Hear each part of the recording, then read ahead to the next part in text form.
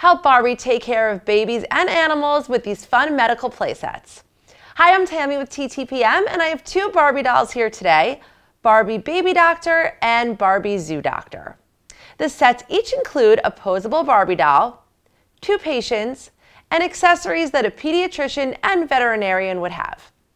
The Barbie Baby Doctor set includes a doll dressed in teal scrubs and white shoes, and two cute babies.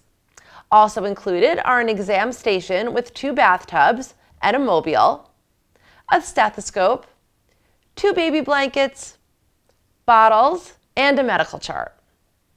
Kids can help Dr. Barbie care for her young patients and engage in nurturing role play. The set offers a great way to help children prepare for a new baby sister or brother. The Barbie Zoo Doctor set includes a Barbie doll with tan skin and light brown hair.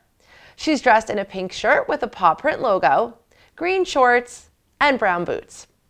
She comes with two animals, a monkey and a cub, and an exam station that features a scale, a pet bed, and shelving.